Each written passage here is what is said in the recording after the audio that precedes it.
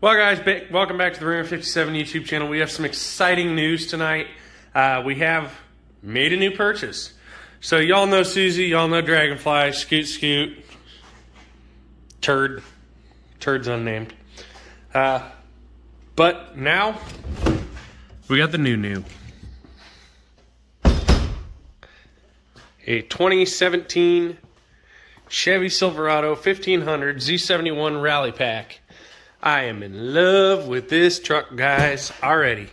I ain't even owned it a. Ugh. It is. Wee. An LT, so it is direct injection. It is pretty, it is shiny, it is clean, and it has 80,000 miles on it, so it's pretty much new still. Everything's still in its rightful place and looks nice and neat as it should. Uh, for some reason, they use an excessive amount of some sort of shiny shit under the hood. Whatever. Dealerships. It looks like they caked everything in oil. It's ridiculous. In any case, she's pretty. I'm going to go ahead and pull her out for you guys and let you get the 360 view. Alright guys, sorry if it's a little grainy and a little weird. I don't know why the perspective is weird, but she is white on midnight on the outside. It's a rally pack, 22 inch black wheels. Love the look of it. The only thing it's really missing that I think it needs, I need a tonneau cover. But did buy it from McClary Ford. It was a trade-in vehicle. They said it's 2017 fully loaded and it is color matched to the Buza. Huge crew cab, love it. All the towing capacity,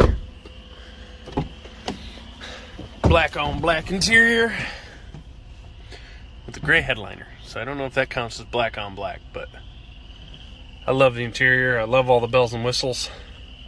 Fuel economy, hours, trans temp, everything.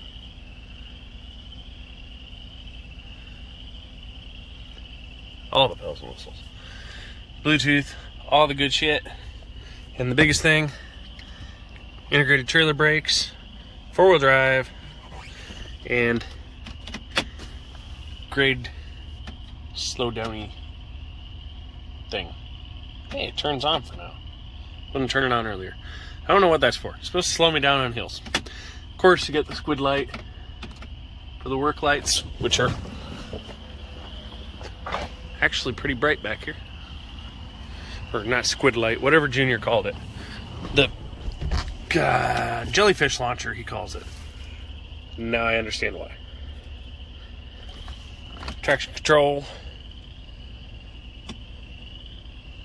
Sit and hold it it should blink. StabiliTrak off. Haha. Traction control on. So I'm happy with it. I still have to figure out how to wire up the quad lock charger. I think I'm gonna run it down, around, under, and up to. Uh, I have a 110 port down here. Plug it in there. But yeah, I figured I'd share it, let you guys see what I got.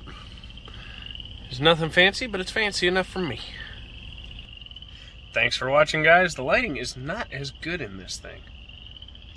Might figure something out for the lighting. But for now, we're going to leave it be. This one will stay almost stock. Not even gonna lie. Probably going to wind up putting like an exhaust and intake on it at least. Later.